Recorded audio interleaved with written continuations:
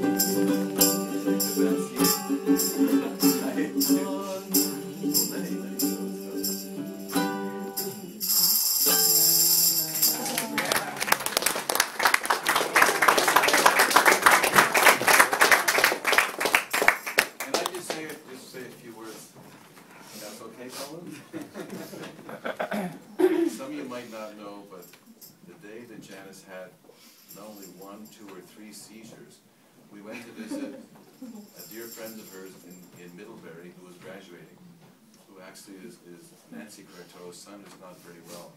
As a matter of fact, who's very sick. And she wanted to make that trip.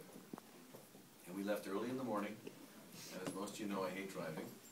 And we drove all the way to Middlebury, we went to the graduation, then we went, they, they had a, Middlebury, when you graduate, at the winter season, they ski down their mountain.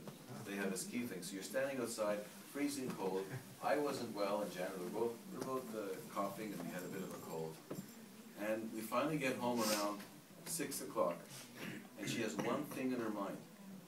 The band, and I forget what they're called, they're two brothers, are playing at the Matterhorn, and she must get there to play tambourine. Hmm. And, and it's such a crazy story, because my friend from France decided to Skype me that night at around six o'clock. And he remembers her in the background screaming at me, we have to go, we have to go, we get to the Matterhorn, they're gonna be late, we're gonna miss them, they're around nine o'clock, we gotta go, we gotta go. And as usual, I completely ignored Janice, I said, I can't move, if you wanna take the car and drive yourself, you go yourself, but I can't make it. And it's so sad, that night, you know, she had, uh, and, and during the day, I'll just, a little bit more of the story. Nancy and Kenny, who's a doctor, said to me, you must get Janice to the hospital, she does not look well. And, really? Yeah, you have to get to the hospital, immediately you leave Sunday morning, there's something wrong. Sure enough, that night, and I, and I went to sleep that night thinking, you know, they have problems with their son, what are they trying to do? They're trying to put problems on me, my wife is fine, you know, she may be a little shaky, but we beat the cancer, it's over, we got the all clear in November, and we don't have to worry about it anymore. And all they're doing is making us more and more crazy. And sure enough, that night, not once, but three times, she got up to go to the bathroom, and she fell on the floor. And it was, and it was, uh, very, very sad. And, and if I can say one other thing, because someone, there's many, many special people here, but I remember driving her home, and it was a very long time to get ready, because I had to do it all by myself. My wife was just completely uh, like a rag doll.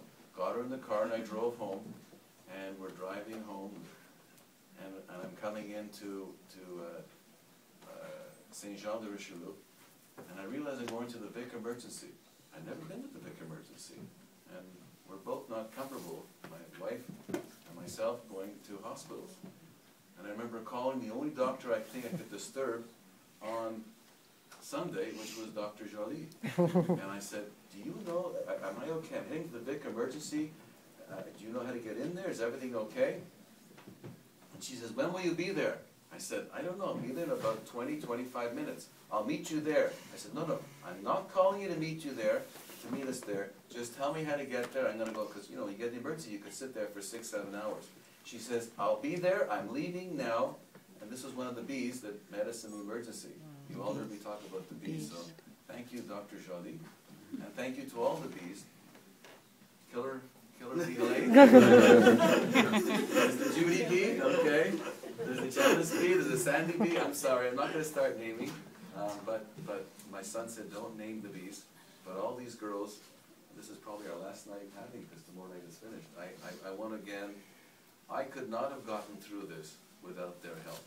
Every morning and all through the day, calling and taking Janice, because I don't know if I explained this to you, but my wife wasn't able to sit and watch TV. She wasn't able to read a book, and she needed to be occupied. She needed to be busy. She couldn't go anymore to Sanctuary, which turned her whole life upside down. And all she wanted to know was, who's coming, who's coming, who's coming, and what are we gonna do? And these bees came through and kept her company, and, and again, as I said in my, in, in the funeral, I wanna thank you, I wanna thank you, I wanna thank you. Thank you for coming. Anytime you hear tambourine, I want you to think of Janet. Yeah, we will, Yes. we will. Okay, we're gonna